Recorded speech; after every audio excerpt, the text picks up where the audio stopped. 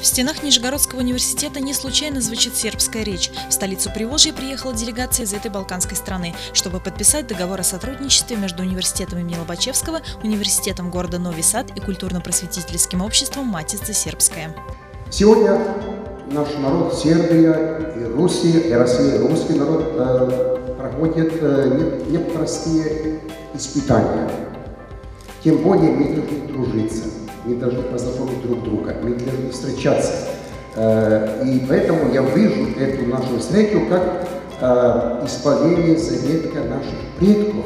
В течение недели сербские гости проведут ряд серьезных переговоров. Нижегородский университет уже давно сотрудничает с институтами, школами и гимназиями второго по величине города Сербии. Ведь столица Приволжья – город-побратим Нови Сад. У нас начинается большое время Сербии. А вот те даты – это просто начало мероприятий, которые послужат истоком, началом, стартом целой большой программы года, десятилетия Сербии в нашем городе. У городов Нови Сад и Нижний Новгород впереди далеко идущие планы. Речь идет о более плотном и продуктивном взаимодействии дружественных стран и не только в сфере образования.